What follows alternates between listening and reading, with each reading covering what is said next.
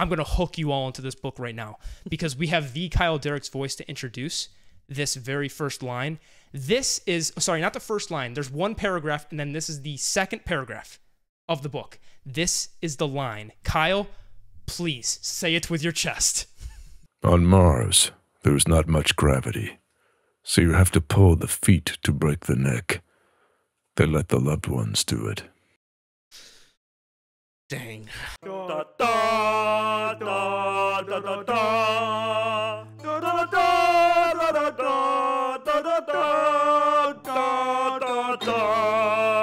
Welcome back to Two To Ramble. I am Austin. And I'm Richard. And I am furious at you, Richard. Yep. You know why? Yep. My rising has been reddened. I am Red Rising himself. I love this book. We are going to give you spoiler free and a spoiler full review on this. We will warn you when spoilers are coming. The reason I am frustrated at you, Richard, Yep. is Rich read this book Over a year. ago. 20 years ago when you were a little uppity baby. You read this in the cradle. You've had this in the storage for so long. You've read this book and you didn't tell you didn't choke me. You didn't say, "Austin, read Here's this thing. book." I recommended it to you Read this over a year book. ago. It's not my fault that it takes you well over a year to read Stormlight Archive. you shut your damn mouth. I'm just saying, You I've recommended you plenty of books over the years. So, as you can see, I am emotionally involved right now. I'm a mess because Red Rising is my, I can officially say this. We're going to give our rating and everything. You'll see it's very high from me. It is one of my favorite books I have ever bloody damn read in my life. And Rich, don't I- you give me that face, you facey facer. That's inflated. I, I like the book. I'm gonna sound like a complete hater. And Pierce Brown, if you're watching, I do really like your book. Pierce Brown, it's a really great book. if you're watching, and I'll be honest, your next book, and I think you'd agree with me, is so much better. You improved greatly, and it's a fantastic series. I'm just thinking like you improved with time and your writing abilities. I'm not saying like right out of the gate you were the best. It's like it took another book. That's all I'm saying. It's like the series improves, but I'm not you where you're insane. you know, we're climbing a mountain and he sees Austin sees the rise and thinks, "Oh, that's the peak of the mountaintop." No, there's another mountain to be climbed. Like the mountain goes on. The, You've the, missed it. the thing about this book. So this is the first book of a trilogy. Mm-hmm. So there's it's first book of a trilogy, but then there's also a fourth and a fifth book. It's a continuation. That's a cont- it's a separate. Th- there's a completed trilogy here already out. There's another continuation, and actually the sixth book's coming out this summer, July 25th, I believe, and then a seventh book's coming out as well. But the reason you're saying that is supposedly this is the worst book of the series, definitely. and I am flabbergasted by this masterpiece of a book. I just want to say this: I know I might be an outlier here. If you're clicking this video, you're wondering if you should read this book. Yes. Just shut up right now. Stop. Actually, watch. Put mute this so you don't get spoiled. Just watch it so we can get some ad revenue. You know, get stuff like yeah. that. But besides that, this book, I want to get right into spoiler-free stuff, and we'll talk about Pierce Brown for a second. Before we do that, we have a mm-hmm. surprise. So we have a special guest named the Kyle Derrick, the voice of God himself. Kyle, how are you? Hello, gentlemen. So Kyle, that voice you Oh. just heard right there, he Godly voice. godly voice. He God is- gave him too many talents. Kyle will be reading lines from the book that we sent to him, and you're you're all in for a treat. We're we're in for a treat. We're gonna sit back, relax, and listen to Kyle's reading of some of these passages. It's amazing. Thank you, Kyle, for for joining us for this. I want to get right into Pierce Brown. Yeah. Pierce Brown. He wrote this book in two months. That's mighty quick. So for any inspi- How's your book coming along, by the way? so for all aspiring writers out there, When did you start writing that? What's about a You know how I was About a saying year about when I you, think? about when you started reading Red Rising, which was you know you were in 20 years ago. It's, it's been a long time, but for writers out there, Pierce Brown was denied six times. He had six novels he wrote that were denied by over 120 agents, and he wrote Red Rising in two months in his parents above his parents' garage in Seattle. Mm-hmm. Just banged this out and made a masterpiece. And to you, at least he banged it out and made a good book. he made a very good book, yes. So, enough of Pierce Brown. Spoiler free review. Should you read this book? Do you mind if I take over for this one? Because. I, this I is am- yours. I love this book so much. I just have to say this, viewers out there, if you if you have not read this book, this will get you out of your reading slump. If you want a dystopian modern sci-fi, this is for you. This is the Hunger Games plus Ender's Game. I like the Hunger Games. I love Ender's Game. They are nothing compared to this book. I love this. Let's pump the brakes here, kid. Let's. This let's this was my down. my spoiler free review. it's my episode. Stop ruining my fun. So Hey, I'm, I'm feeling a little I'm feeling a little uh, bitter over the Wheel of Time episode. Okay, I'm I'm gonna push back here. a little bit of bias is going into this episode. It's fine. It's fine. You can be wrong. It's okay. now, this book is guttural, fast paced, action packed. It is. I learned so much as a as an aspiring writer about writing itself. This changed my perspective on many things. He's a genius. I have so many good things to say. And for those of you who have been viewing the channel for a long time, you know my favorite author is Brandon Sanderson. My favorite series is the Stormlight Archive. If this series continues after book one to be how much I love book one, this is my new favorite thing by far. It's my new favorite thing. It's because I I can't say it yet because I've only read the first book. We're going to be covering all of them. But this book in particular, you follow a character named Darrow. Darrow is 16 years old, which is the only thing pretty much other than the prose that stays rather YA. But after that, it's it's a dystopian sci-fi.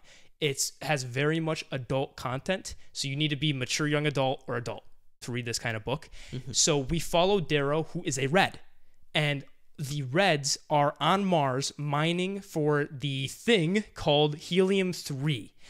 Now, a fictional elemental gas. there you go. This fictional elemental gas called helium 3, which allows you to terraform planets. So, Darrow and the other Reds are mining for this helium 3 in order to allow people to inhabit Mars.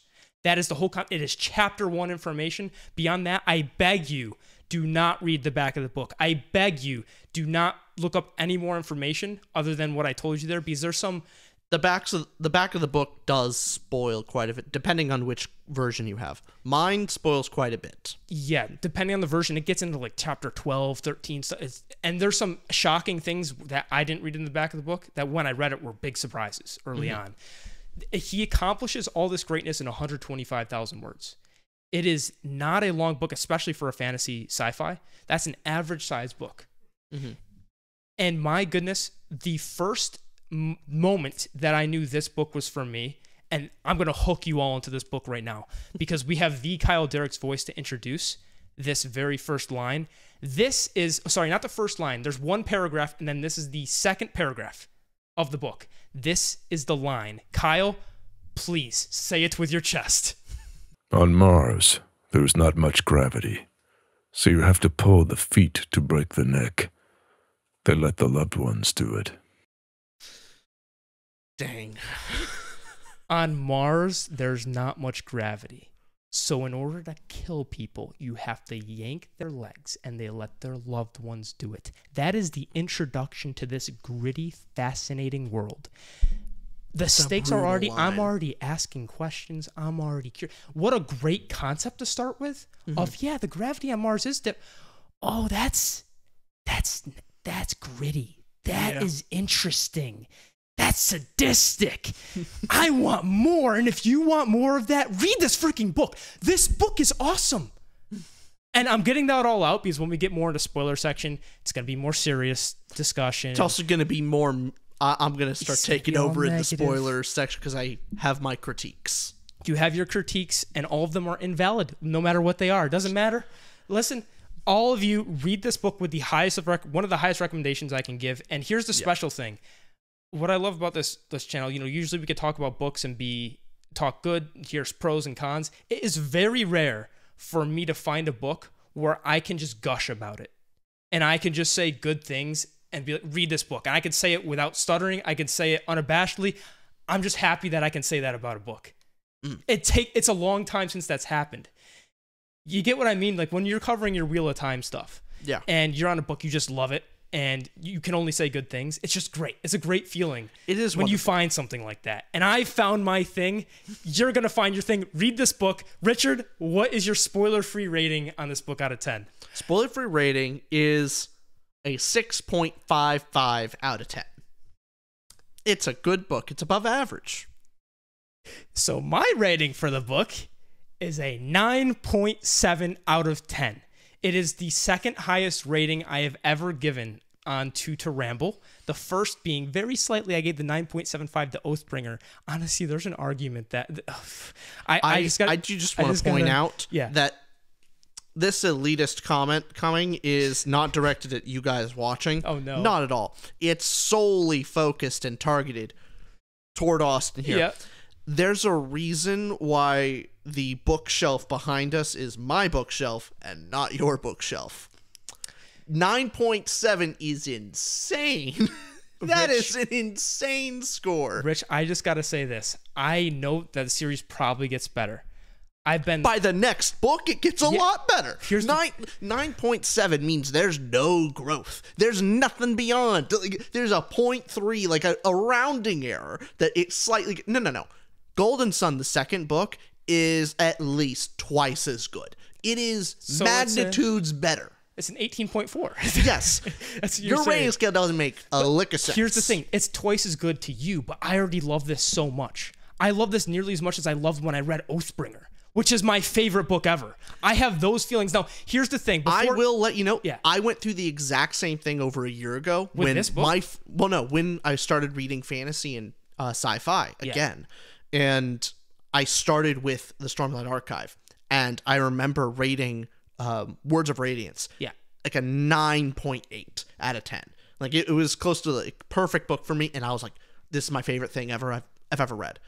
And then as I started reading more books, I kept having to knock it down because I was like, "Oh shoot, is this the best? Like this element is the action better in this other book?" Well, yes, kind of. And so as I read more, my original scores got knocked down some. I think by the next Red Rising video, when we read Golden Son, we're going to do a review on that one. You're going to lower your score for Red Rising. You think so? Okay. I think you're going to, like, by necessity, have to. You're going to have to make a revision and go, hey, look, Golden Son is my 9.7. And you're going to be like, okay, look, Red Rising, I'm going to have to knock you down a little bit to a 9.1. I think that's where you're going to go. I'll, I will keep I'm, this. I'm making that claim. I'm going to see if we're right. We'll see if you're right, but I want to say this. I, if you don't want to listen to me either, I am not alone in this at, at all. Another booktuber, Petrik Leo, this is his favorite sci-fi series, and he has read a lot more books than me. And first off, I do want to say, No, my- series? no, no, I no, understand not just, way not, more Not just than series, book. but even the first book, he gives 4.5 out of five stars, and this is Okay. this is what he has to say on the book. Mm. So he Petrik Leo says this. He says the book felt naturally fast-paced and utterly readable, and the words he chose were raw, full of rage, brutal, and also poignant at times. Almost every scene, whether it was superb action, strategic planning, or even when the characters were just talking to each other, pumped my blood with an adrenaline rush. Petrik, I could not agree more. And I knew you would come and bully me and say you read more books. So I'm I- pulling out BookTube support. My I BookTube know- community, come out here, trash Richard for trying to shame me for reading less than him. You snub. I just want to say our patrons actually agree with me about this book. Well, the if people- you want to join us in a book club, which this was actually one of our book clubs of the month, you could join us in Patreon. In the link down below. They actually agree with me, and they were trashing you. It was a lot of fun. The people that support us suck. Actually, the, it was a really fun conversation. So Yeah. we we talked about this. We have our monthly book club. This was the book club of the month. And I will also say this: as far as my nine point seven, we're still on spoiler free. As Mm-hmm. far as my nine point seven rating goes, can you at least say right now it is valid? Like this is how I feel about it the is book. valid to you right now because I could understand. I'm just telling you of my own experience of what happened to me on my favorite thing, and then I was like, "Oh shoot!" I'm just, I I see your experience, and I'm going like, I went through the same thing. Here- That's what- all I'm saying. I Is get I ya. went through similar things. I get you, but I've had enough of the bullying. no, I, I got to say this with my nine seven. Okay. yeah. just spoiler free still. If you haven't been convinced already to read this book, I started reading this book and I was sitting at home and then my friend, my roommate said, not you, my other better roommate, he said, Hey, do you want to go to Panera's to eat? And I said, Sure. And you know what I did walking to Panera's? Had this book glued to my hand, walking, oncoming traffic, and everything. Walked straight to Panera's, could not put the book down. Sat the book down at Panera's, reading the book. My friend wants to go. Hey, we got to go home. It's getting dark out. I said, get the hell out of here. I just hit chapter 28 and the most amazing thing happened. He leaves. I keep reading at Panera's. I walk back home alone, still reading the book on my hand. I get home, lie in my bed. I finish the book that night till 2 a.m. I could not physically put this book down. That justifies the 9 7 alone for me. I have so much praise to say, and there's so much we have to get into in the spoilers. Right before we get into spoilers, Oh, I yeah. do want to actually give a thank you to our sponsor of the video, Displate, and we'll go right back to our spoiler uh, talk right after this ad. A quick pause to talk about our sponsor, Displate. They have some great products. Their metal posters actually made in Europe. Super unique, easy magnetic mounting system where you could just one of the cool things you can actually swap those out. Same mounting brackets, and you just put out your other metal poster. Up. Does not damage the wall whatsoever. This is a company we have known about and liked their things before they reached out to us. They have art of different brands and all of your Marvel, Lord of the Rings, Star Wars, and did I mention Lord of the Rings up there? You could see here all the designs that Displate sent us a Lord of the Rings poster, a Dune poster, this weird pine cone looking thing. That one's mine, by the way. Also, a great image of the World Tree Serpent. And lastly, of course, Gandalf. And deliveries typically come within uh, four to five business days, so really quick. And hey, save a little bit for the environment because they're on metal and not actual paper and posters. Every poster they that you actually buy, they plant one tree. We have our own page where we handpicked, selected what we think you guys would like on displate.com slash 2toramble, just like our channel. Displate's giving our viewers 20% off if you get one to two displates and 30% off if you get three or more displates if you use the code two to ramble. Not only do you get cool stuff, it supports us. They'll keep working with us in the future. This is crazy. We, we have a us. sponsor. All right. All right, into spoilers. Spoiler warning. Spoiler warning, you've been warned. You've been mighty warned. Please read this book. Do not listen if you have not read read this book yet. It is time. All right, First category: first category. emotional impact. What'd you get out of ten? I gave it a 6.25 out of 10. I clear. I mean, obviously, you're not going to know most of my ratings here. Nine point eight out of ten. and I guess my emotional impact, what I just said before we broke there, is how much it this book glued me. I could not stop reading it. Clearly, I am emotionally invested. So that's the first thing. Incredibly, could not put the book down physically. Secondly, I would say the inciting incident and everything that was packed in a relatively short book was mind blowing. I love the writing, the world building. There are so many moments to talk about. And let's keep it more vague on the emotional side. We'll get into characters, we'll get Yeah. into plot, but just general emotion of the book. How'd you feel finishing this? Generally, I enjoyed part one, I think, the most out of the book. I thought the premise, the world building, all that really hooked me in. I remember really loving that part. Uh, when it got to the Hunger Games section, there's certain relationships that just didn't quite work for me, and a lot of so some character decisions kind of confused me with Darrow, and I didn't buy some of his motivation. We'll And talk about that in so characters. yeah, we'll talk about that later. But mainly, what brought me out of it was a certain character relationship between Darrow and Mustang, and then also some a plot device that just doesn't. It bothers me. It, it's actually the this book is the what got me aware of one of my least favorite tropes in writing. I don't even know if there's even a fix to it. It just annoys me.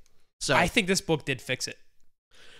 This I we'll talk about it in plot. but yeah. we'll talk about it in plot. But this, so anything else with emotion? Is there? Would you say it's good? I mean, I said recommend the book. You'd recommend this book too. yeah, I definitely. Here's the thing: if if you're not bothered with the Mustang and Darrow relationship like I am, then I can see someone rating this so much higher than me. Like a nine It's seven. Not even that far, but still, it is. you, you looked really angry when you said that. I don't think you were joking there. You looked at me like this dude. Like I can't believe I have a podcast with this lunatic. it's it's an insane score. But whatever. It, hey, look, that's your opinion. It's fine. You're allowed to be wrong. I'm just call. You know, Okay. I'm calling my shot on what's happening next. Red Rising Can, video. can I'm you just least, saying. have you seen me this excited with a book ever? Since when? Stormlight. Since Oathbringer, which I give a nine seven five. I guess Like, so. how do I not justify this excitement otherwise by the scale? It's not like I'm sitting here going, "It's a great, it's you know, it's a great book, nine seven. I am an, I can't speak. Uh, this is f- better than some of my top ten movies I've ever watched. Like if I'm comparing I it to movies. I look at this. This is up there with Mad Max, one of my favorite movies ever. So, anyways, I do love it. yeah, I know you like it. I like it. I'm gonna man. I'm gonna sound like such a negative Nancy this entire. It- I fine. have to. It's good. because ev- okay. Look, if I talk about the positives, I'm just repeating what you say.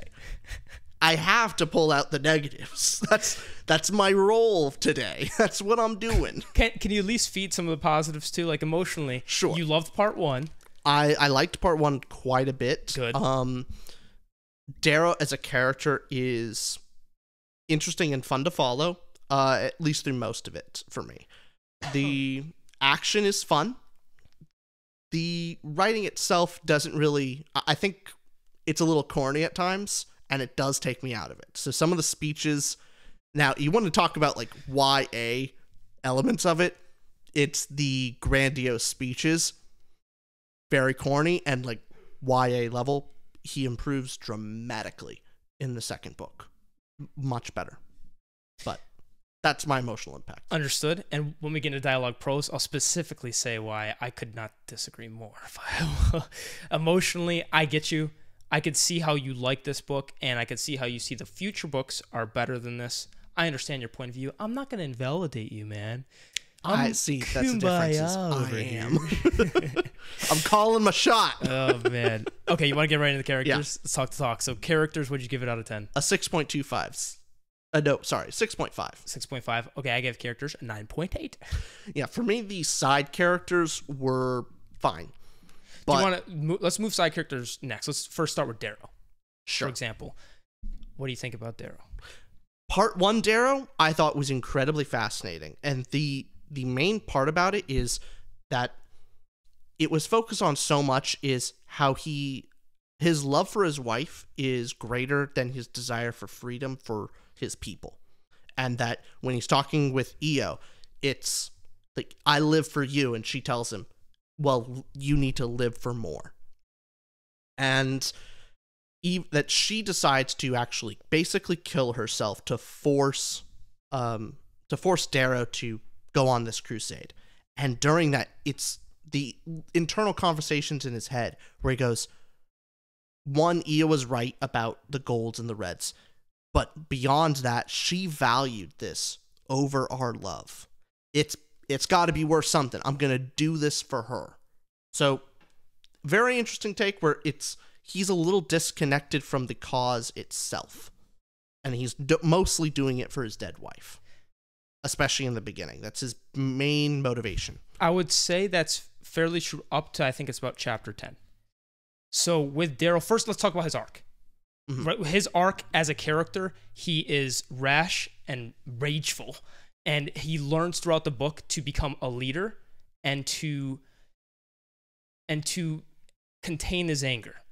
So with these, that's actually something we're going to get Okay. onto i think it is set up and talked about how he has talked about his rage i don't think it's actually well explored or even negative his rage never really negatively impacts him throughout the entire book and it's talked about how he needs to contain his rage and it, it'll negatively affect him. I don't think it negatively affects him throughout the entire book. He's really well contained the entire time. The only times he's rageful it's not a negative. It doesn't hurt him. That's a big part for me that like it does take me out of his character is for this book specifically narrowing it to this oh book. yeah, please don't give me spoilers. I'm not giving you anything, but his rage is not a negative factor for him. It's talked about. It's said that he needs to keep that he needs to keep it under control. But he doesn't. It never shows itself as an actual problem, even though it's said it is. I, I disagree completely because with Darrow, so he's impetuous and rash and has this rage inside him. And I have a list here of like from throughout the book. So where the first book starts, the very opening scene is how Uncle Nero and all of them don't want to mind this thing and his mm-hmm. rashness, and he just goes for it. So that's kind of his nature. He goes for it. He doesn't care. He's gonna do this for the long term. But anyways, that's that's the first introduction to Darrow as a character. Now I have here in chapter four where th- this quote says, after they lose the laurel, when they supp- were supposed to win, he says, Eo doesn't let me boil in it. She doesn't let my knuckles turn white as I clench my fists in fury. She knows the temper I have inside me better than even my own mother, and she knows how to drain rage before it rises. So Eo's there quelling his rage throughout that introduction to the book. And then when Eo dies, his reaction to that is com- he wants to kill himself. He's over. he has nothing to live for anymore. And this goes into your other point. It's also not rage. with- that is more depression. Oh, he's yeah, sad. he's it's yeah. not. No, no, no. That's rage. Mm-hmm. that's not the rage portion. So he's there's nothing. He feels completely depressed, wants to die, and so where your point is, where you know he's doing it all for Eo, he is. But here's here's where the story changes. When he sees the city, I think it's like chapter ten or Mm-hmm. somewhere around there, where he was shown that Eo was also right. She was right. So she she was right that they were lying to them and they need they need to do something. And this is what it says in the book. Darrow says, Eo was right. It comes to violence. She was the voice like my father. So what am I to be? The avenging hand? I cannot grasp that someone so pure, so full of love would want me to play this part, but she did. I think of my father's last dance. I think of my mom, Leanna, Kieran, Loran, Eo's parents, Uncle Narol, Barlow, everyone I love. I know how hard they will live and how quickly they will die, and now I know why. This is after him seeing the city. I look down at my own hands. They are what Dancer called them cut, scarred, burned things. When Eo kissed them, they grew gentle for love. Now that she is gone, they grow hard for hate. I clench them into fists till my knuckles are white as ice caps. What is my mission? So now this transitions to where Eo was right.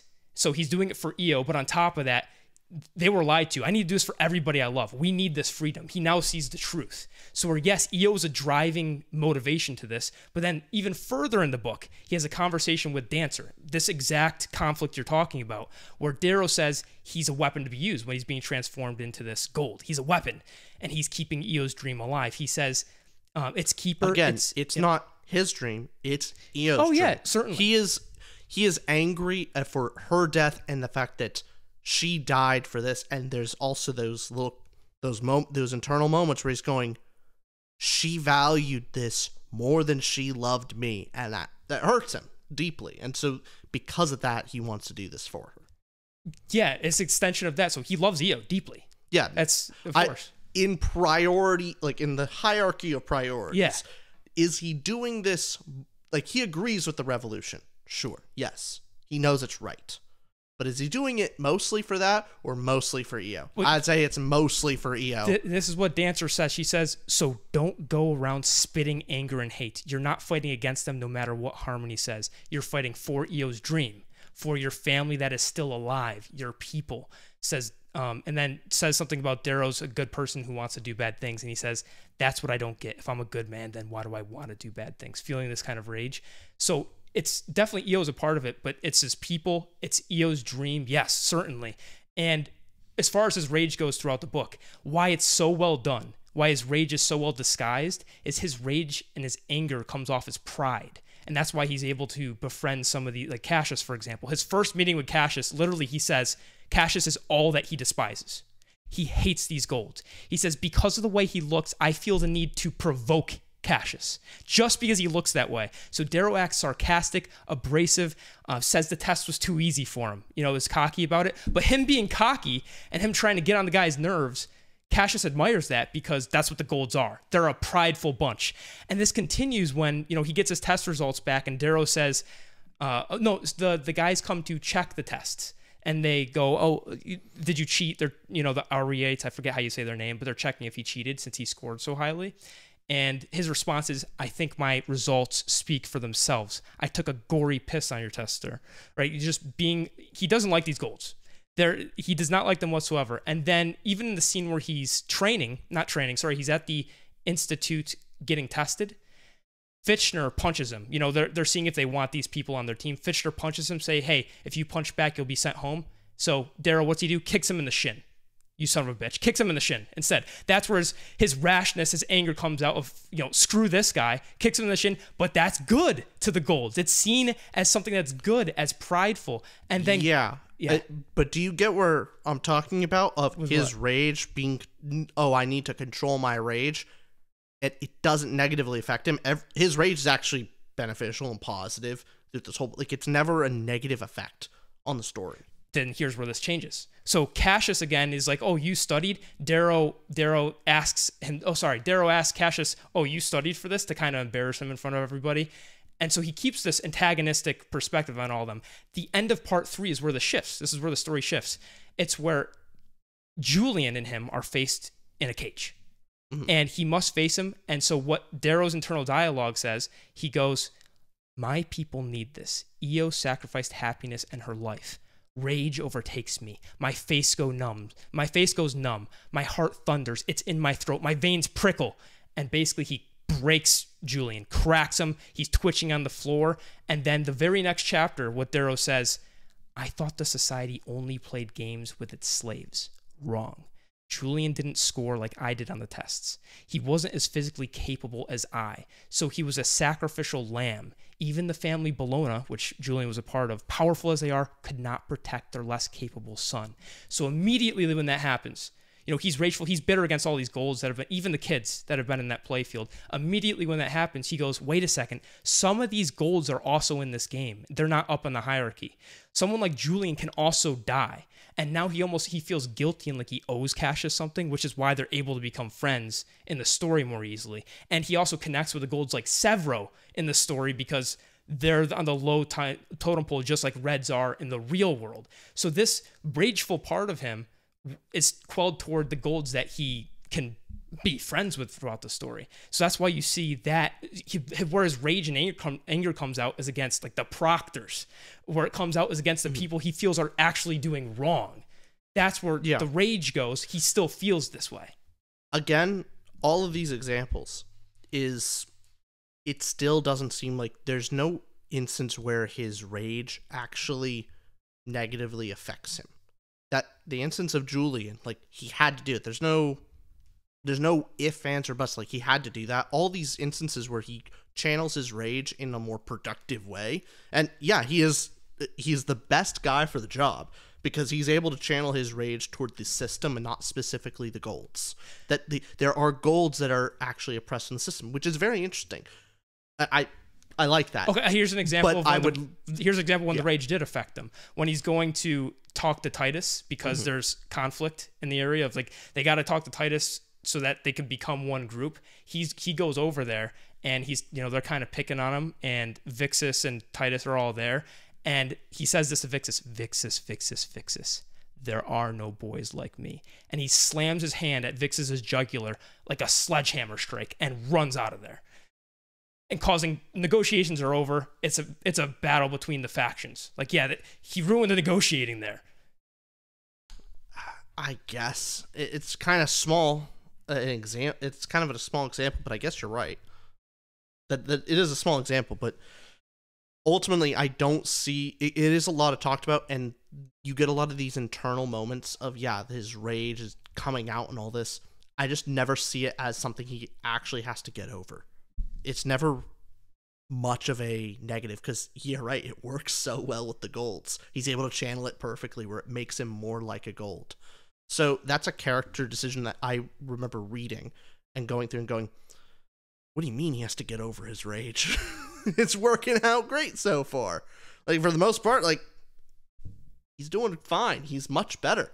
Uh, with Titus as the example to, like, how his rage is uncontrolled and unfocused and it basically makes him a bad, a bad infiltrator that's a good example of showing like when it gets in the way.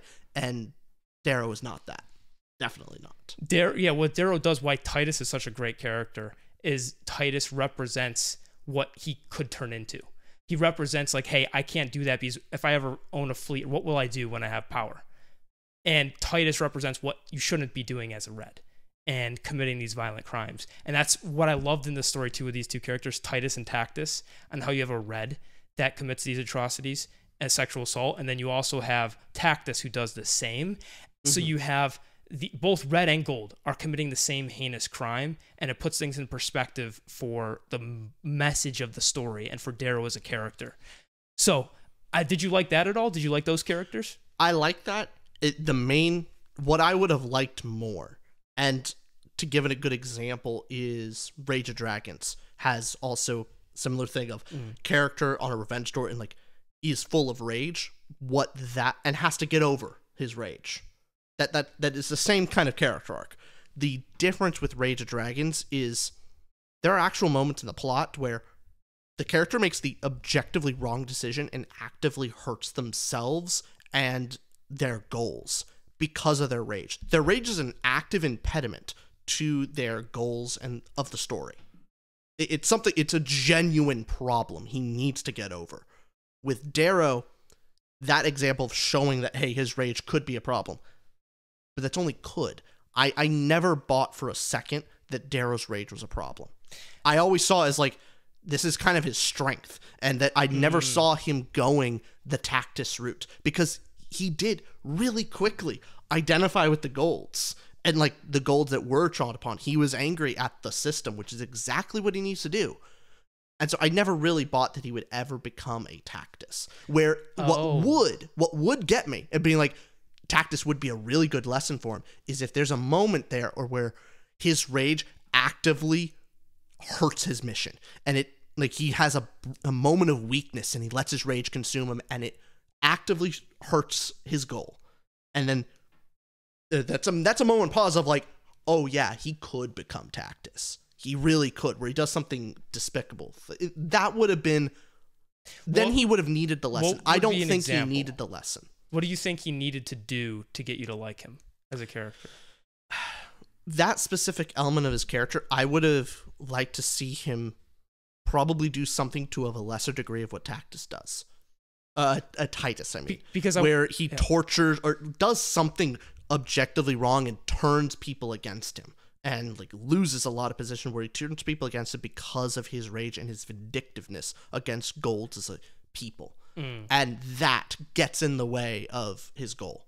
I don't think we ever really see that. We see kind of minor examples, and we get the internal dialogue in his head of says he's rageful, but he always channels it in a good direction.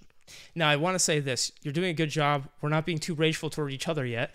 Oh, you yeah. know, for giving a 9 5 and a 6 something. You're channeling it in a good direction. I see that. See, so we are representing what Darrow's doing, right? So- Yeah, no, that I, here's what I want to say though. With the with the rage and impulse, impulsiveness that he has, a lot of that comes out before the game because he kills Julian and it changes things.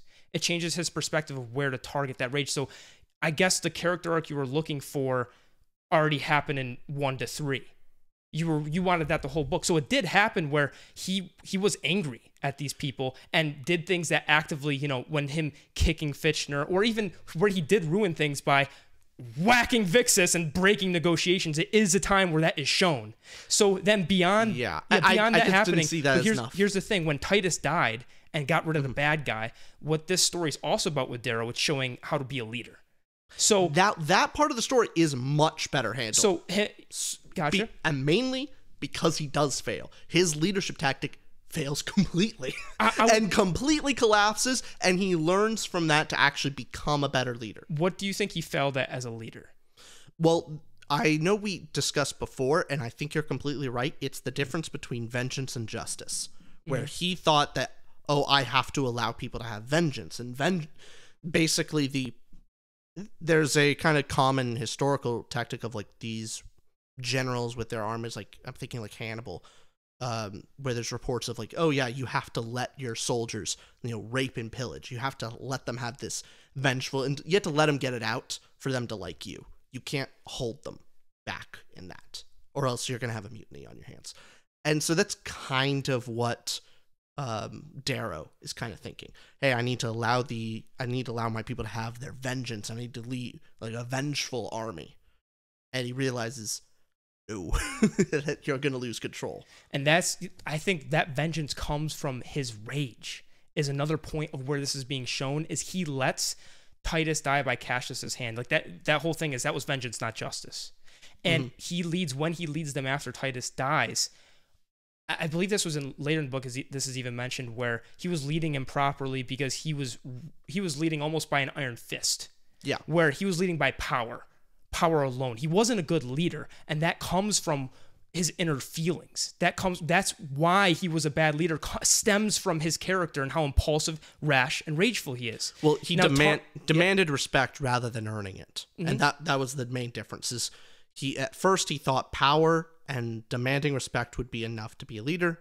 He later realized after being betrayed, and that he has to earn it. He has to show examples Right. of why they would want to follow him voluntarily. I think that intertwines with his rashness and rage so well. Maybe you don't think as much, but why I gave it why I love the character so much as well is that that rage like like we already discussed is the part 1 to 3 arc mm-hmm. where he it changes the second he has to kill Julian, it changes his perspective of these kids in the arena. So he doesn't go in there like Titus thinking all the golds are the same. Yeah. Otherwise, our main protagonist is a villain at that point. If you want him to go in there, his rage causes him to rape people. No, that that's Titus's perspective. Yeah. So the, no, I, I want him to have not not be a villain, but actually be more of an impediment. Where I get you. And So you I don't think those things tie together. Right, but I think for what Pierce Brown's trying to write here, he wasn't trying to write that story. That's so Rage Yeah. of Dragons is a different But story. The- do you want do you understand of like when it's talked about, especially internal dialogue? Oh, his rage is being a problem, Yeah. and then just in the story as examples, I just don't really see his rage actually being a problem. It's Titus's rage is a problem. His rage not really a problem. He has it under control. He's kind. You're, maybe you're right on Julian, where he's kind of solved it, where he has more sympathy for the golds, and yet going forward, it's still talked about his rage being a problem. I don't see it being a problem, and so that's the problem where it's you set up that he needs to overcome his rage. Mm. And then I'm I'm sitting there going, eh, no, he doesn't really. He kind of already has this figured out. Like he's justifiably angry plenty of times. He channels his rage in a good direction. He's not Titus, and I don't think it ever will be become Titus. That's where I'm. I, that that's I think the disconnect. I see I see your point, and that point with Vixus. On top of that, there's a later point with Mustang. Remember when the two people try to rape Mustang as well? So Yeah. rape's using this a lot, where she has to tell him not to kill the guy. So like you're saying, the rage is always pointed in the right direction. Mm-hmm. Right, so you you think his rage is always pointed at the right bad guys, and you wanted his rage pointed at a good guy. Am I misinterpreting Or that? mainly where, where'd some- you want his rage to go? basically in a direction that would kind of harm it, it would stand in the way of his goals where it's a genuine like after moment of going oh i just made my job harder oh i made i made my situation worse because of my rage i let my rage get to me i i've just never seen like his rage at mustang almost being raped is like yeah that's i'm not gonna fault i'm never gonna yeah it's just it doesn't seem like a problem to me Okay, I'd say the two points then with the Titus versus Tactus Mhm. point and also with Vixus and him ruining that. That is a moment, maybe it wasn't as big of a moment for you. Yeah. It was earlier on in the book when they were trying to coalesce the group to go and march on the other armies as well. Yeah, it. I think his the thing he does have to get over more. It, it's Mm. mostly a strength through most of this most of the book, and then becomes a kind of weakness he does get over is his rashness. That is different. Where he's kind of going with this. He's just generally rash, but it kind of works for him all the time. Like Mm. it's what makes him better. Right. He he's a better hell diver because of it. He's a better gold because of his rashness. That's always been his benefit. And then when he's in the games, he re- he's going with that same strategy, and he goes, "Hey, power," and he's logically thinking like, "Hey, look, I'm just gonna body these other guys and they'll respect me." And so he ruins the negotiations in part because like, "Hey, they'll respect me if I'm more powerful." And But I'm, with which one? With um Vixus? Like more That wasn't that. his no. rashness is more of a strategy, isn't it? No, that was they they were cornering him. He's just like, um, yeah, fu- screw you, and smashes his throat and runs. Yeah. That was just, that, that wasn't like a. So I guess it can intertwine with the rashness. So the main thing is he's rash and he thinks power's enough, Yeah. and then he learns no, Gotcha. that's not, and so that's a much better. Sure. I, guess when I'm looking at a figure like Darrow, I look at him and it's not the same character, but in a movie like Gladiator with Russell Crowe, Mhm. he's the guy where you don't need. It's a different kind of character that you were looking for, I guess, because I didn't go in there with. I didn't expect this to be the gray character of all gray characters, where he made a decision like that, where I was for a moment, because I'm always rooting for Darrow. And his anger is justified and in the right place. It makes it so easy to get behind him. And you want to mm-hmm. see his growth as a leader. You want to see him be less rash. You want to see his anger contained into he's not killing innocent people, which you're not fearful of that point. But what you are is if he gets this power and gets a fleet, he's just going to kill golds. Like, what's he going to do when he gets power? So you want to see him in the right position by the time he gets there, if he gets there. That's what you're rooting for. So, you know, when I'm watching Gladiator and Russell Crowe, I'm just watching him kick ass a lot of the times. I'm watching him. Well, Uh, in specifically Gladiator, it does not establish that oh he needs to control his rage, he needs to control his anger. That's not a problem set up. He's completely justified, and th- there's never a point in that story where it's like Yeah. that's never established as an issue because like he's completely right and he's going forward and you're all on board. In this book specifically, it is established and talked about frequently from other characters and Darrow himself that his rage is a problem. Well, here's and I just don't see it as well, here's where it gets stopped. And you know how Eo calmed him at first in the beginning, Mm-hmm. not to lash out because of the laurel getting stolen. It's just like after with Mustang, even though she was about to get assaulted, she had to stop him from murdering the guys. Now, even if the rage is justified, her stopping him from doing that and him not acting out of that ragefulness is a good thing long term for him because he needs to learn how to control that. He needs those people around him. He needs to learn that lesson where, okay, I am furious. I want to cut their heads off. I mean, he says this multiple times with when he's talking to Fitchner and and talk about the jackal who he hadn't met yet. He just goes, I want to rip his balls off. He just says, I want to rip his balls off. And when Tactus does these horrible things as well, and again, these are against the antagonist, he, oh, when Tactus does the horrible thing and to Nyla, um, when he shows that he's a good leader by getting whippings himself before he goes to Tactus, be like, You deserve to have your balls off, you selfish bastard. And he knows he can't do anything about it. He's containing that. So Yeah. you are seeing him contain his rage. Now, the point where you're right on didn't bother me as it's much. mostly is, words rather than actions. Right. It's not. all. So it's Mustang holding him back. It's him holding back. So he is held back, and you don't want him to do that. You're like, no, no, no, no. You just wanted a scene more vivid than the the Vixus part early on. It's where he it's the difference between saying it and showing it. There's plenty of scenes and talked where it says the rage problem, where the internal dialogue, like yeah, in his head, he's very rageful.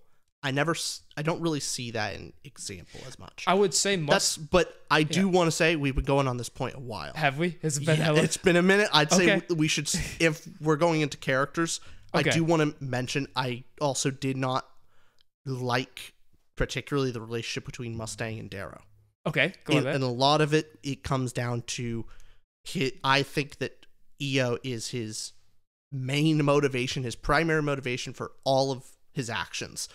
In his darkest moments, it's Eo that brings him out of it. When he's going being carved up, when he's going through, it's Eo that kind of calms him, and he's realizing like I'm doing this for her. Mm. Him falling in love with Mustang doesn't work for me, especially in this book specifically. I don't, I just don't buy it as much. And Okay. even if it does, like even if that goes forward, the fact that that doesn't really seem to affect his motivation for um taking down the system, I would think it. I would think that it would, it, or it would change his motivation, or at least maybe temper his rage. I would think something. I didn't really buy that relationship as much, and overall, his kind of fair ease and being able to make friends with golds seems weird. Okay. but So to those Those, two, those things just didn't work as much. so for me. to the second point, the fair ease, I'd say, goes back to where he was. He was bothersome to Cassius. He mm-hmm. what he was act. The guy was arrogant. and He hated him the moment he laid his eyes on him. But what changed to befriend Cassius was the plot scene where he killed a dude's brother, and he realizes these golds are also dying off that are weaker. And now he felt like he owed Cassius something, and he also wasn't revealing that he killed his brother to Cassius, and also the reason he allies with all the low drafts and Sevro is because he relates to them more. So he doesn't ally with the other golds, at, at least, especially at first, where it's like the Tituses, the uh, what's her name, um, Augustine, Augustina or Antonia, Antonia. so You're gonna that's- have to help me with yeah, names. That's that- been it's been a while since I read the book. but that's that's why he's able to befriend them and with the relationship why it didn't bother me as much and if you could tell i gave this a 9-7 so i love everything pretty much about the book i'm going to give one complaint in the plot section if people are still here we've been so on point with this where we really went into darrow and i want to talk about it still but we can't it's Yeah, too much no, time it- we're- we're it's, starting to it's an interesting difference and I, I like that hopefully they got something out of that so with mustang and eo why I could I see how it could bother you that Eo's his motivation, but looking at their relationship, it it was very important that that Pierce Brown mentioned this as well that they were in the arena over a year, longer than Eo and him were actually married. Now, all that doesn't mean he doesn't love Eo anymore. He Well, constantly also, says that he knew Eo longer than before, before he yeah, was yeah. married. So with with that relationship, so obviously it starts when they're healing each other. And she saves his life. He saves. Well, he at first let Mustang go and saved her life. So she, in return, saves his, his life. And throughout that relationship, they they heal each other. They grow. They bond. And she sings Eo's song. And he even says every time he looks at her, um, every time he looks at her, he thinks of Eo. And at, there's a scene as well where Mustang is nudging up to him, and he goes, "No, she's a distraction," and I goes away. Mustang even says, "What happened? You used to, you know, we used to sleep closer to each other. What happened?" And he goes, "No, uh, yeah, I'm not going back to that. Whatever." So constantly is denying Mustang staying focused. Eos the love of his life, and so it was slowly done in a methodical way where I I didn't find it to negatively impact the relationship because this guy's 16 17 years old eo's the love of his life and when they do fall in love the moment's so impactful because he doesn't realize he really really loves her until she's taken away and feels what he's been missing out on and has to go save her in Mount Olympus, right? Mount, Mhm. So has to save her in Mount Olympus. And after the battle, this is what he, he basically says she smiles. Or I think this is after that battle. He says, She smiles at me. She is beautiful, like Eo. Every time he's even describing her, Mhm. every single moment he's describing Mustang, Eo's still in his head. So it's not like Yeah. he's forgetting Eo. And then when they do, when he does kiss her, he says, This is when I kiss her. I cannot give her the haemanthus. This is my heart, and it is of Mars, one of the only things born from the red soil, and it is still Eos. But this girl, when I when when they when I look at her, I would have done anything to get to see her smirking again. Perhaps one day I'll have two hearts to give. So he kisses her, and it's he's rash, he's impulsive. He even notes this after kissing her, like, I I just did. I just did. My heart is still Eos. He's conflicted. It's not like suddenly he just fell in love with Mustang. I thought it was really methodically done and added another conflict going into part to book two. That just fascinates me. That's why I love the relationship so much. But I've been talking your ear off. What do you have to say? You make a good point. I still don't buy it. Okay, fair enough. But you can see why I love this book, man. I I really get love you. this book. I now, I want to actually sing some praises. oh hallelujah. Yes, hold on. Let me turn happy face. Oh wait, happy face was It's all, on. happy face is already out. I can't believe you didn't turn angry face at all. I'm not angry. I just know Okay, you're sad wrong. face. Sad okay, face. Fine. Well, what- oh, what are we gonna call him or her? Eh, they'll- someone will let us know. So what to one call person, in the co- Orkestad, one of our patrons, said, him. It should name it Austin. "Yeah, name it Austin," which I think would just be a little trippy. Yeah, turning Austin inside out. Yeah, that's gonna be. Let's name him. Ooh, let's name him Red, so we can remember this moment. Red. Fine. You like Red. that? Red's Yes! a good name. Okay, All so right. sing some praises about the characters because there's so I many think characters to talk my about. absolute favorite moment from the entire book is the moment where Darrow has um the jackal at the table, Oh. and that whole like, yeah, I'll let you leave if you cut off Oh. your hand, and easily just goes, yep, okay, and starts sawing, and it wasn't that much. Like, one, yeah. Great villain, like I'm more set up like, oh, he's intimidating Mhm. it's the moment where Darrow actually talks about like he had an animalistic like reaction of like, oh, I can't let him, I can't let him leave. No, no, no, this is not someone you piss on and let go. I need to kill him now because, oh boy, this is not good. like Yeah. that's the ma- the fear of, oh, I need to kill him now. This is a, this is not a threat you let go. That was a great moment for a villain. Loved it. Same team, buddy. Let's go. Same team. That I that was my favorite moment Love of the it. book. Love that. And I think all the antagonists in this book are Chef's Kiss, where you have Jackal. You also have Titus as an antagonist. It, We also have the Jackal's like right hand, which was fine. Looked it, but sure. Eh. Sure, but with with all the antagonists, Titus being an antagonist, I thought was Titus and oh my goodness, why can't I say her? Antonia were great in the beginning. You have the str- the sh- representation that paragon of strong and strength, and the conniving one made a really interesting conflict to start off with Mars, and then you go off to more the an- and Mustang's an antagonist at one point, Tamara as an antagonist, Apollo as an antagonist, but then the overarching antagonist, the Proctors. But even beyond that, Augustus, I believe Augustus being the uh, the emperor, the imperator, the the big bad. My goodness, what a bad guy! All the antagonists here are super memorable, and there's a lot of them. it actually get into world building aspect. But We'll get into there. Aug- Augustus's speech, I think, does the most to make the world building of the whole structure of the society incredibly interesting. And it's a tease. It, it's such a good tease that will, is later fleshed out in later books that I will I give world building much higher in those scores, but it definitely is my highest rated here. Awesome. Now, to get you guys that are watching even more invested, if you didn't like Augustus as much, this is about to change your mind. You want to hear what the Kyle Derrick himself. I'm ready. This, so Kyle, what he did for us is he read off Augustus's speech right before they're all going into, Into the Hunger Games. institute, into the Hunger Games. This is Augustus's speech, and it's perfect. All right, Kyle, take it away. Society has three stages savagery, ascendance, decadence. The great rise because of savagery. They rule in ascendance. They fall because of their decadence. Men are not created equal. We all know this. There are averages. There are outliers. There are the ugly. That's you. There are the beautiful. That's me. No, you are the Let's be best of humanity, but you have been coddled. You have been treated like children. Were you born to a different color? You would have calluses. You would have scars.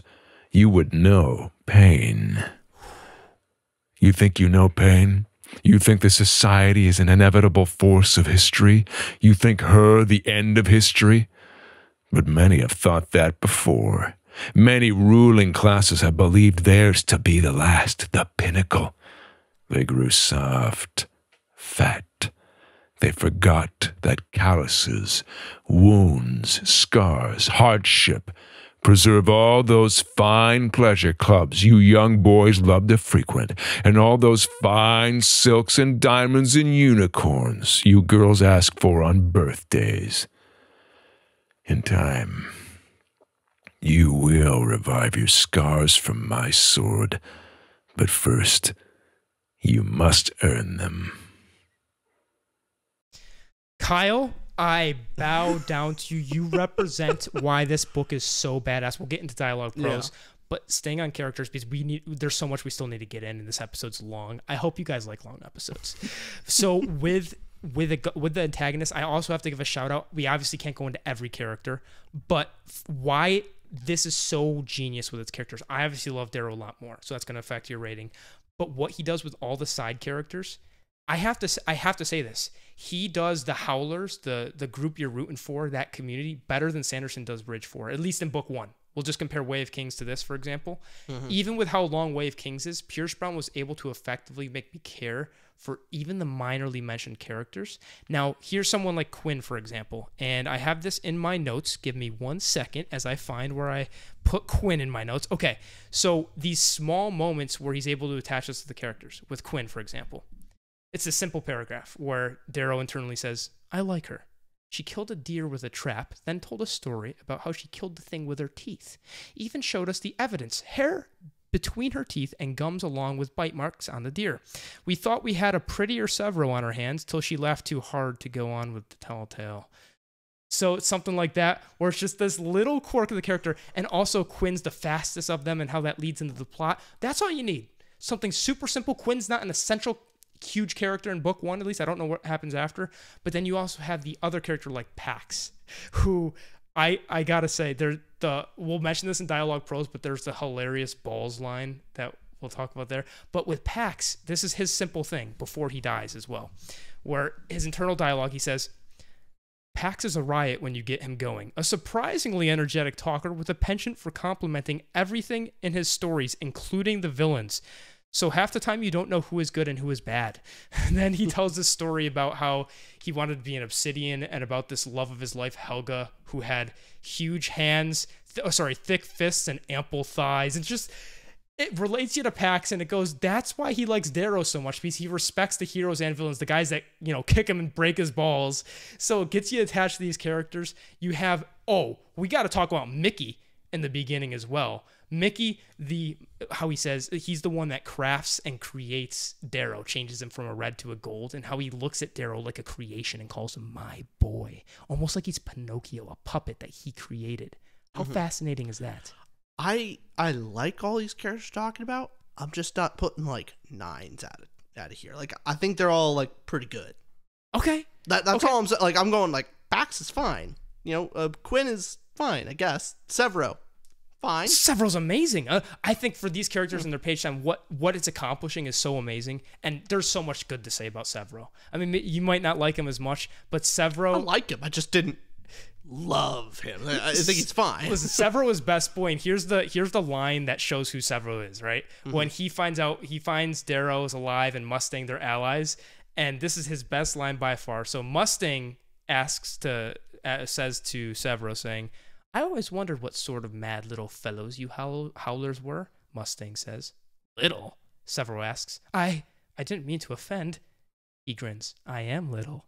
Something like that just shows you like he takes it with pride that people think of him that way and that he can still show his toughness. It's just I love all these characters, man. I love I love the representation of Titus and Tactus and their message of the story showing the reds versus the golds.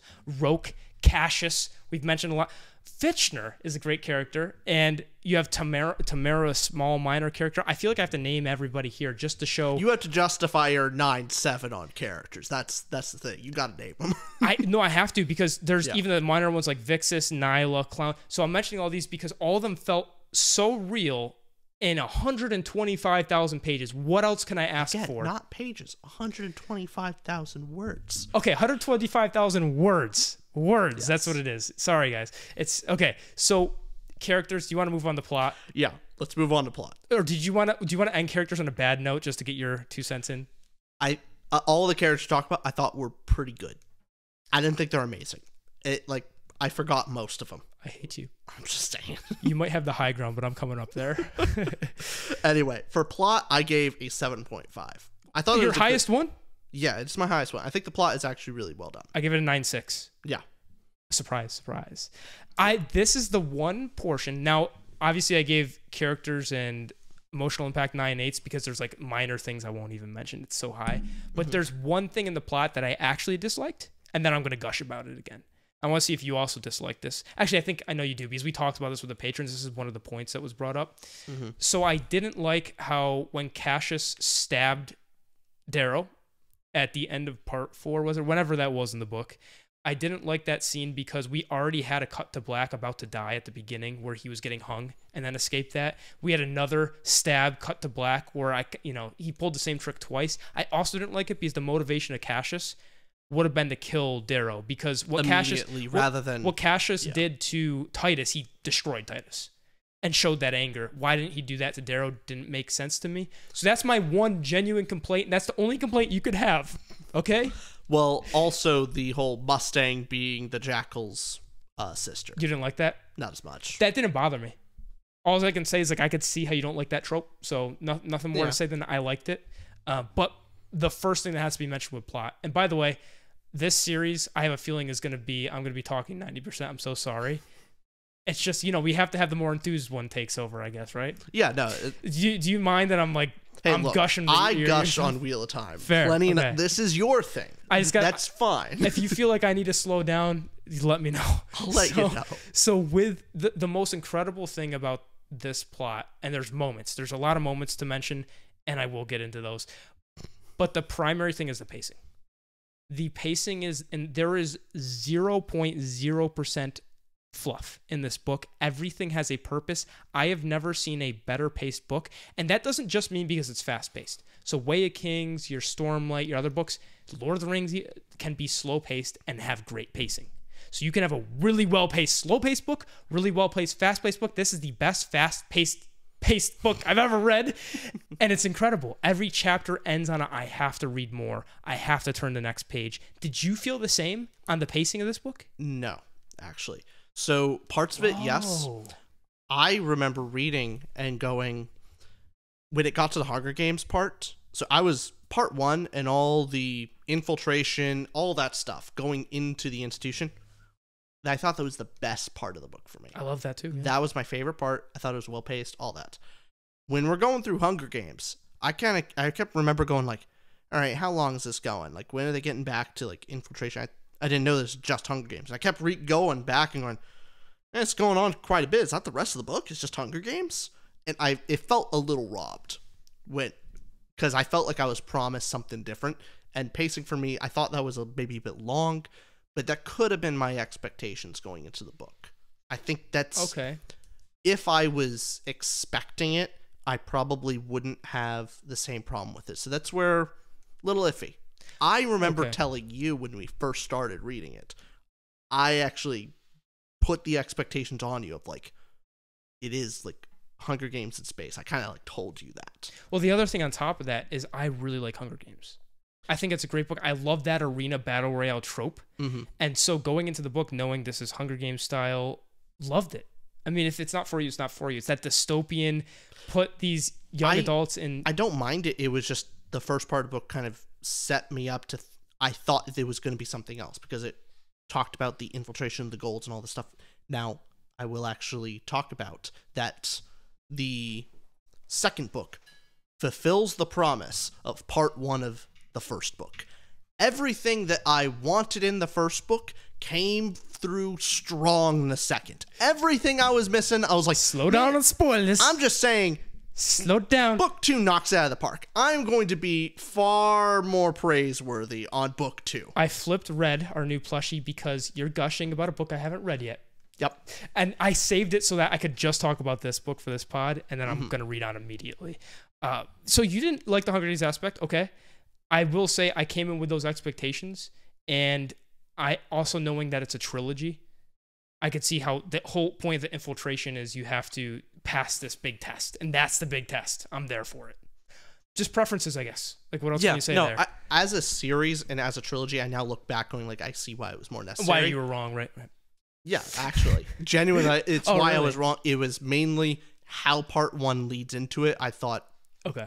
A little more confusing. Where I thought part one kind of promised certain things, and then by the end of the book, it was not delivered. Interesting. That's more specific. like, The delivery of the promise from part one came in book two, Okay. d- and so that, don't that's all. That is, that's all my confusion. for me, what was promised was you know the character of Darrow and just him being too rash and right, which we don't want to get back into that discussion. that- well, at least we can agree on the rashness. We can agree on the leadership qualities, and that's Mm-hmm. that's what I was in there for. But as so as you didn't think it was incredibly fast paced because the Hunger Games bored you a bit. Yeah. So coming with a different perspective, I thought it was really well paced, and there are so many moments I have to point out in this book. Just battles alone, like talking about, oh yeah, the battles are what make a book, right? But it, it is important that this book fit into here has the Mars internal fight, Mars versus Ceres, Mars versus Minerva, Mars versus Diana. Then he's beaten. He have the Dark Night of the Soul. All is lost when he gets stabbed by Cassius. Gathers up the army, fights Ceres again, fights Apollo, fights Jupiter, fights the Proctors, and then back to Mars again. There's just so many moments of compelling conflict. I mean, I, I, compelling is the wrong word for that. It's just badass. Where you have all these Yeah. fights happening in these different castles, and I I love that stuff. But even beyond like the hey things hit things because I love my Mad Max, I love my Gladiator, I love my Lord of the, The movies action- more so go into that. But The action's good.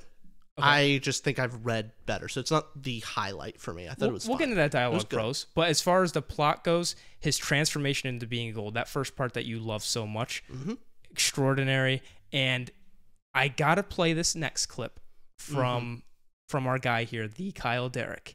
This clip is again early on in the book when Darrow is getting beaten and Eo's about to get beaten for being in that little pasture area mm-hmm. that they weren't supposed to go back in the mines. And this is the line that is said by Darrow. Kyle, take it away. No one is offended that I'm bloody and beaten.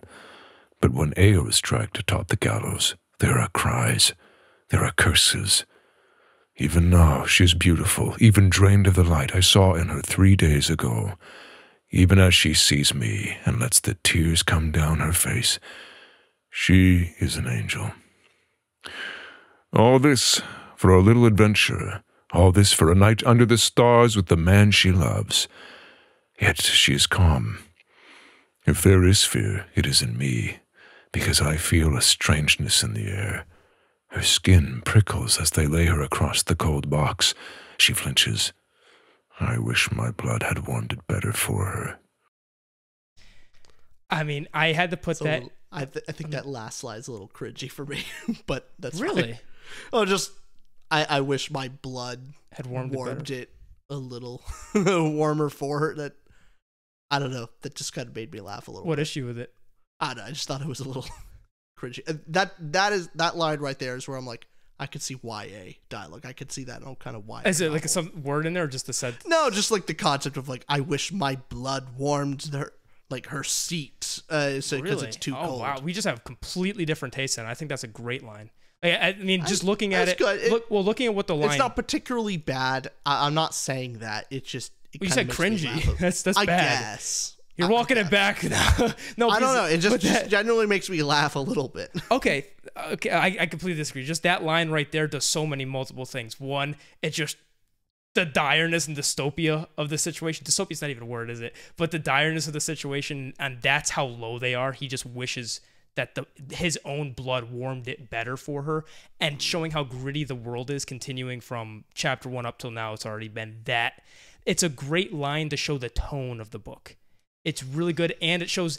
It, the second thing it does on top of that is just the love he has for Eo even confirms that that anything I could do for her, literally, if my blood could warm it better, I would do anything for this woman. I think that does a lot for the story. But y- you know, you just you just shamed on the Kyle Derrick right there. You better apologize to the voice of God, okay? uh, I'm I'm surprised you said it's cringy, Hey, but it's not. It's not Kyle. It's it's Pierce Brown. No, I want him to come on here for an interview. I don't know how I'd handle myself. I no, I wouldn't. I wouldn't be able to handle I, myself. hey, Pierce. Can I call you Pierce? I'm just saying I gotta be negative because of him. If he wasn't here, I'd be singing more of your praises. I'm just Pierce, saying he called I you gotta. cringe. There's got to be a little give and give and take here. There's got to be conflict on this show. Yeah, you're making good for conflict. That's good. That's good. So uh, I had to point that out because the inciting incident of this book, I am so hooked. I mean, from the first line of the Hanging on Mars that we talked about earlier on, his love for Eo, Eo dying, inciting incident going to the transformation of gold, the Hunger Games. It's split up into. It's such a well structured book, and every portion of it, I can just think of incredible moments. I can't get over it. Oh, wow. So, do you want to go beyond plot, or do you want to lead us off into another That's- negative tangent? Let's go into dialogue. And Dialogue and prose is cringy prose. what did you give it out of ten? a five point five. I give it a nine point six. I, I think it's it's really average. It, it just Dude, that's what it is. I, I'm I think Pierce Brown like ups his game by a significant degree in the following books. He becomes a, such a mu- such a better writer. Just on pure writing ability alone, Five and a half for this so one? much. Yeah, I, I've read I've read a lot of books that has the same writing. uh, so has Petrik Leo, the other booktuber, and he says it was. I just say I just I had kind of I had before. Petrik Leo as my backup the whole time. so how I do on these, uh, like how I judge writing and dialogue, I'm Mm-hmm. kind of looking through different elements. A, a, a always a standout is I'm thinking like, how does if especially if it's a fantasy, uh, an action fantasy book, how do they write action? Have I have I read action that's been written worse? Have I read action that's been written better? And there's plenty of authors that write action way better. I think it's improved upon in book two and three, but I, I was looking at like Joe Abercrombie. I think John Gwynne writes action better. So there's these things. I'm kind of putting him average. Uh, when it comes to dialogue itself in world building, I don't get as clear a picture of the world when we're kind of walking around. He does a great job at describing the society, but when it comes to mental image, I, I'm, I'm not I'm not seeing that detail to a certain, to the same degree, and that's mostly mostly due, I guess, to his style. If it's kind of choppy, choppy dialogue and really short cuts, and not a lot of descriptive words. It's more of like the character says I'm mad rather than more description, or they describe they go into a forest. They don't really describe the forest. It's just forest, and so it's average. I've seen stuff that's been better. I've seen stuff that's worse. And I think he improves later on. so Uh, from my perspective as someone who wants to write a book i know you do too but like it, i really want to write a book. That is my ultimate Yeah. goal. Out of all the books i've read this one taught me something i, I never learned before. That's great. and so looking at well th- this lesson's been there but to see it done so masterfully so obviously it's gritty. I mm-hmm. think he has hilarious scenes between his characters which actually make you laugh and connect with the character which is hard to do in a book. It's efficient but what he does best is the economy of words. The the lack of fluff, not just with his pacing, but with the prose, it's so direct and you're never questioning what it means. And all the he uses adjective several adjectives throughout the book. I, I could I'm not at the top of the head list what they are, but he makes some very provocative and provocative words to get you to feel what he wants you to feel. And I've just never seen it done. You said the choppy sentences is more of a negative, or maybe just as a lack of preference. I well, found the, yeah, the choppy sentence kind of leads to a lack of mental picture of the world and the characters themselves. fair. And so I, for example, Small Gods, which you think is like nine point five. Uh, dialogue. Yeah, I, I, So if I, I look at- that's the thing. I have to look at like Yep. as some of the best that Terry writing Pratchett. can be. Terry Pratchett on just pure writing ability is master. I think Pierce Brown improves greatly, but he's about average in his just pure writing prose. So I think Terry Pratchett is masterful and nearly a 10 as well with his writing, just for what he's accomplishing. Pierce Brown the same. Just when you're mentioning these people like Joe Abercrombie, Brent Weeks, or anybody that you mention, I think you can have both of these people what they're going for on their pedestal, both being masters at what they're doing. You could agree less with that, but it's like I'd say it's similar to me looking at an animated film or a live action film. And looking at the animated and the dialogue there, I would rate differently from coming from Mhm. you know a kid's point of view or whatever versus an adult book, or just like I would do with uh, a horror film than I would do with so different genres. so To your point, I Yep. actually do want to compare then Red Rising to something like Black Prism. And Brent Mhm. Week's Black Prism is in similar way. I think in pure writing style, they are similar. But Brent Weeks, I think, is a much better writer when he first starts out. The action it is short and choppy, but it is described better. It's more fluid. I it's a much better action scene when he describes the world. It's not flowy prose like Tolkien. It isn't that way. He does Okay. a lot of similar things. Like they're in the same genre of that style. And, but I'm just saying, I think it's been done better. would you say Pierce Brown is a worse writer than Sanderson? Like, what do you give Sanderson's prose? Higher Yeah, than five I- and a half, I imagine. Higher, yeah, So this, but not. this is where we differ, right? Yeah. Because I think Pierce Brown and Sanderson are on the equal level and equal footing. What he does is so mesmerizing with his dialogue. It, it's I can't put it into words. He wrote this thing in two months, Mhm. and that makes it even more astounding to me that he was able to accomplish. I'm, I'm sure there's a lot of editing afterwards that's not included in that writing of two months. yeah, I can't explain what it elicited to the, elicited to me, but there were so many laugh out loud moments. There were so many oh moments that he was able to do in his dialogue and prose to get me to react emotionally as well. The choppiness and the quickness of it is not a negative in any term for me at least. I think it's it's a show of his craft.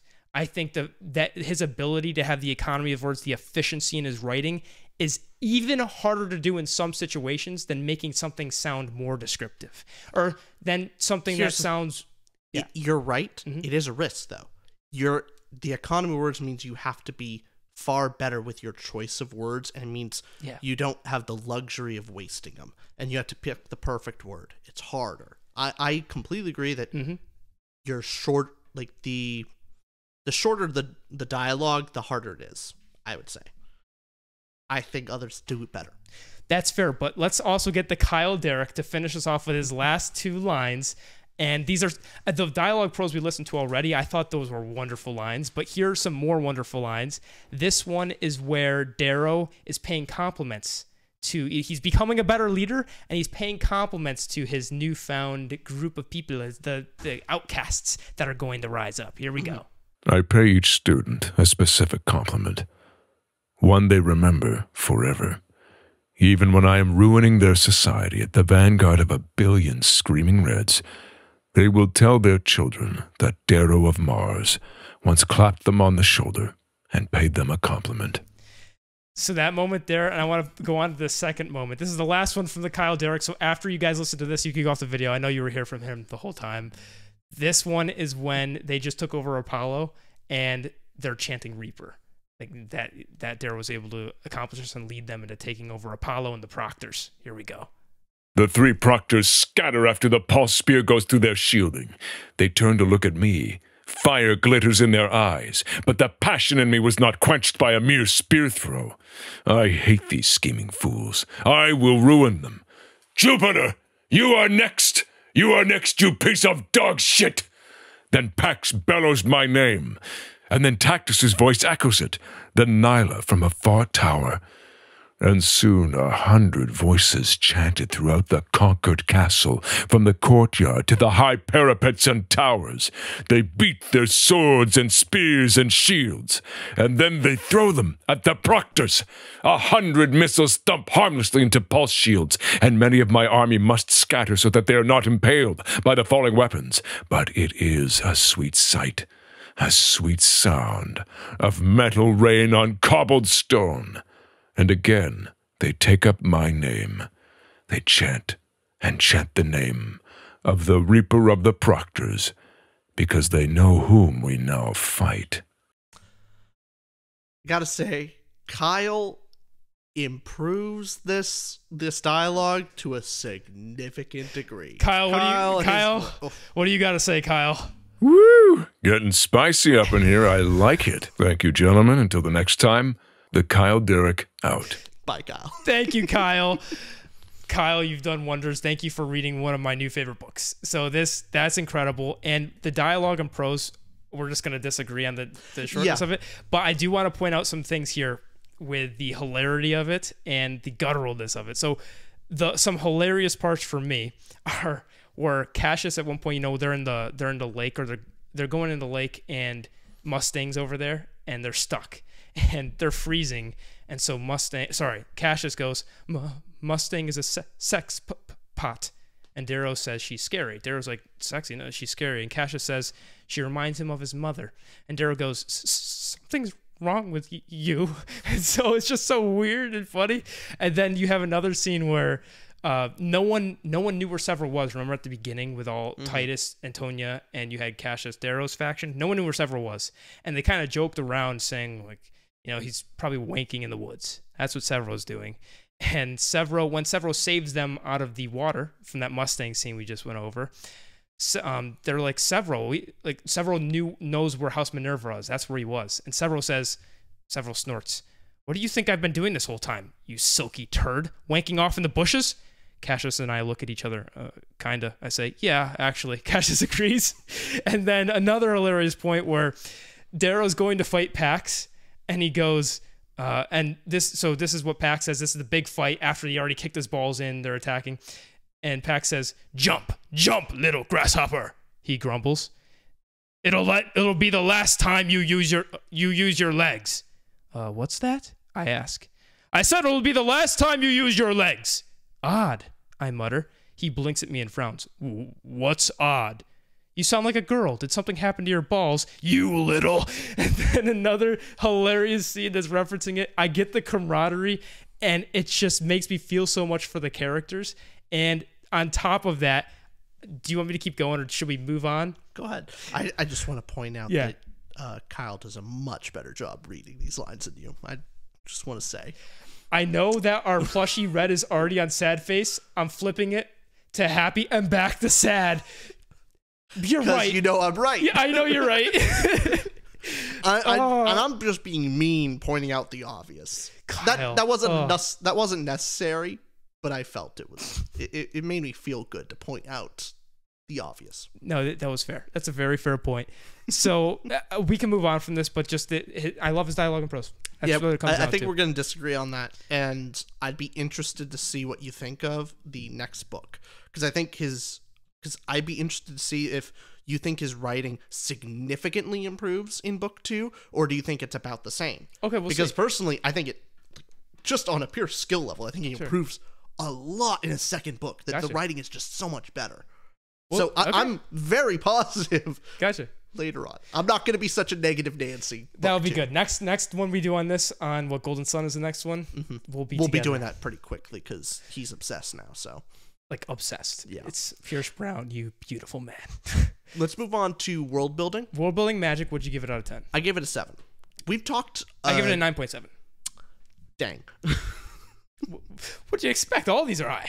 I, I I know it's just always it's always surprising to me. really? This is one of the higher scores for me, mainly because I think Pierce Brown does a great job setting up the hierarchy in in the in this fictional you know sci-fi world. and it's such an interesting point of like you see all these stories about hierarchies with they- they're artificial. It's just an artificial like oh yeah the nobles and then the peasants and there's effectively no difference. It's just you know how hierarchies used to work on Earth basically. But this one is very different from how uh, our own world works, where the hierarchies in Red Rising are actually physically there. Like instead of just stereotypes being just a racist thing, it's a literal thing here. Like the fact that gold's being on top of the hierarchy, yeah, they are smarter, stronger, faster.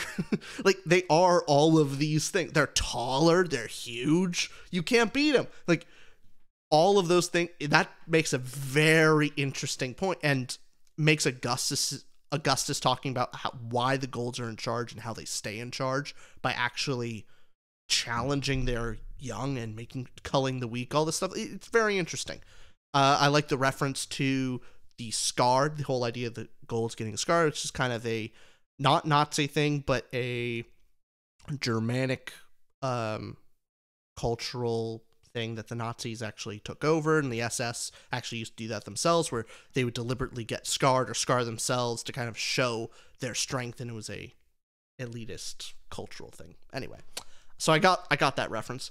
I like all that, so I think that's really cool. Nice. Yeah, I, I was That's my positive stuff to say. I was gonna say that. So the hierarchy, I couldn't agree more. I obviously I agree with all the good things you're gonna say, Yeah. and I want to point out some specific things I loved about it, and then go broader. But a specific thing I loved to show us how the Golds act was he had to learn to leave twenty percent of his fish, so that leave twenty percent of his fish on the plate, so he didn't make his taste buds slaves to the food, just to show their culture where it was about self control. Don't mm-hmm. overindulge. You know, you can have your vices, but don't let it usurp control over you. It's very important in the Gold's culture. And that's so fascinating. Just that little scene of how they eat. I you never really, that's such a unique world building tool. And I never think too much when I'm reading a book like, ah, how's that culture eat? And that's so, so fascinating to me. And the way that Darrow navigates through the goals of him being rash and more, okay, not rageful, I'll say angry, I guess. so the way that that's actually encouraged and showing the pride of the culture done so well and intertwined with the plot of the book. And I got to say, the best part about the world building is how the info dumps were disguised so well. Where the Augustus speech we heard, that we heard earlier on in this episode, where he's discussing what you're doing going into this institute, why the institute exists, why are you flipping the the red plushie? What- We're agreeing. Oh, look at that. Okay. I like the world so building. It's good. The info dumping on that, I wouldn't even, it's such a well disguised info dump where Augustus is rightfully explaining to these new initiates what they're going into. And Mhm. you hear why why they're doing this and them looking back to the other conquered nations in the past. And I always love it's one of my I love this trope of when Earth is mentioned and you or, or like the United States and how it's in the past tense. And I'm like, oh, how did the U.S. fall? It was probably because like you took over and then ruined everything. That's I'm assuming. I can see it. Yep, yep. You definitely be like, hey, I'd like, run. would, how would you ruin the U.S.? I'd run the country into gra- into the ground, but I would do it in a very glorious way. You it would- would. I would get a solid chapter uh, of the history textbook, not a footnote. I would be a whole chapter. It all ended when Richard started requiring people to read Hyperion and people killed themselves. Sorry. Sorry, that's my hot take of the day. Oh, you're so wrong on that. Hyperion was fine. It's it's eh. it's It's bad. masterful. It's, bad. It's fine. It's masterful. you'll see my official review when we do Hyperion. but I love that that was this guy so well showed what why their culture does this and how they have the quality control and they they emulate people like the Spartans and are against the democracy of Athens. So so great. actually a more. It, I think it's it's only hinted on in this book, but I think it get it gets more interesting later on. Is the stunted growth of their culture? How don't please don't go too far into that. well this me. is just book one Okay. is how fascinating is it that the golds in their hierarchy is based a lot on roman culture and that their art and that their system of governance and their words that they use are based off of ancient civilizations. And that's they aspire to the past. It's a it's a culture constantly looking at the past never looking forward. And i think that's interesting interesting. that's an interesting thing about the whole world. And you kind of pick that up on because on a surface level like oh cool you know i love all the you know roman uh, terms and all this it's cool. But then you kind of think to yourself like this is the far future of earth and their terminology all these things is looking back to the ancient Right. past. How weird is that? Like that's very strange. We don't do that now. Like like yeah we we kind of reference stuff in the past but it's not like we're basing our entire culture off of a culture thousands of years ago we have our own culture they have none of their culture is their own it's just an amalgamation of cultures from the past That's fascinating. And it makes the Hunger Games aspect, the arena, makes so much sense with the world. And I, I think this is why it blows Hunger Games out of the water. Although I liked it, it takes that arena aspect, and what it does is it instead of taking these district kids as f- uh, play toys for the Capitol, yeah. the elite. This is the elites themselves, their children who are Doing it here to yeah. n- to continue their function as a society because they all believe this, and this is the way that we don't become weak. and on a, on a certain level it makes complete sense It you can understand the antagonists, the villains of the story. You can understand it, and you go, "Wow, what a fascinating culture." Well, also even more so, you understand why the Golds are in charge. Like, how have the Yeah. Golds stayed in charge all the hundreds and hundreds of years? Yep. How, how like how has there not been a more successful revolution? Yeah. Because how oppressive they are. No, you get it. They they they are not resting on their laurels. They're all, and which one makes the Golds a far more intimidating set of villains. Yes. and antagonists really. Like, how are the Reds going to beat them? Yeah. You have all the Reds are physically weaker. Physically weaker, but also mentally. The whole thing of oh, Oh yeah, you could learn. the Golds learn. Yeah, Darrow in a night read what three thousand history books Mhm. because he was able to do that with the tech and being a gold. Yeah. Like what? So that whole I give so much credit to that transformation of him being a red to a gold with Mickey, Dancer, and all of them, showing so much about the culture and him learning what he has to do. And even before that, the fact that the Reds don't know about the rest of the world is a great world building hook. Yeah. I am immersed. The it's funny. The only complaint I had about the world was one thing you mentioned earlier that you really love the hierarchy thing. I think the hierarchy is great. The, the gold, red, I understand it. Some of the ones in between, I didn't understand where they place in the hierarchy. At least in book one, I went. I, I, I get you, but at least book one, I was like, oh, where's that? Okay, I got a little tidbits. It would have been ten out of ten if I got more of that, but. Nine point seven. I yeah, I loved it. I've never seen such a creative world. Yeah, I mine. Okay, I shouldn't my say that. There's a lot of creative worlds. It's just a really great world. My points mentioned before where I don't have as good of a mental image of the world itself. I and that's just kind of a lot of it comes down to writing choice and how he describes it and how he writes the book. So I'm not giving it mainly above a seven mainly because of that. I just don't see the world very well. I I, I see the culture really well. That's great. But the world itself and the physicality of it, not as much. This you're not going to agree. This isn't going to change your mind, but I did like this brief description of the vegetation looks like green scars cut across her poked surface, water and impact craters forming grand lakes.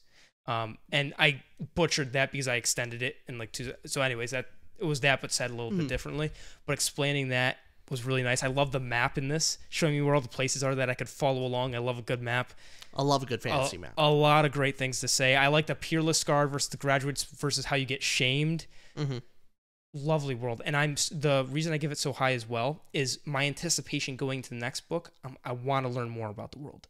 I am invested in this. It's and I also give bonus points in worlds and magic systems. Well, this doesn't really. I guess it's just world. It's a sci-fi, so it's not really magic system. But w- I give huge bonus bonus points to a world that don't overbear you with unnecessary fillage. It doesn't. Uh, it doesn't try to show off its world in a way of. He stays contained in the focus of the story. I think that makes a great world and makes it deeper. So I understand the golds. I understand the reds. I'm involved, and I'm sure it'll expand from there. Mhm. And I just gotta say, Red Rising, thank you for existing. Pierce Brown, thank you so much. Thank you for letting me talk so much this episode as well. I appreciate Of course. it. And I think we got our buddy Red here. I'm gonna turn him toward me because we know he has a favorite. And if you've gotten this far into the podcast, which I don't know how long it's even running. Oh, I can tell you right now. Let's see. It's about What? uh, over an hour and a half again. Okay, there you go. Yep. Comment down below. Um, there's always another mountain. Because just like when I we're was going gonna to the have to make book, him move. Don't hit it my- Uh, you know that Hannah Montana song? no, I don't. What? I, I watched that movie in theaters with my buddy. Oh, it's a great movie. Always that gonna buddy see wasn't me. another mountain. Always gonna have to Comment. There's him always another mountain because Golden Son is going to be that mountain for you, and I'm looking forward to that. So, you want to wrap it up? Oh, it's the climb. That's my that's the song. It's the climb. I was looking for the name of the song the whole time. It's the climb. You know, change that. Um, comment down below Hannah Montana if you've gotten down this. demonetized. I think we're gonna demonetized. All right. Don't don't worry. They only demonetize you if the song is recognizable and your singing ability is not good enough for s- it to be recognized. I saw it coming. I saw it coming. It still hurt. It still hurt. uh, thank you guys. Thank right. you guys and gals for watching. We appreciate it. Bye bye, y'all. All right.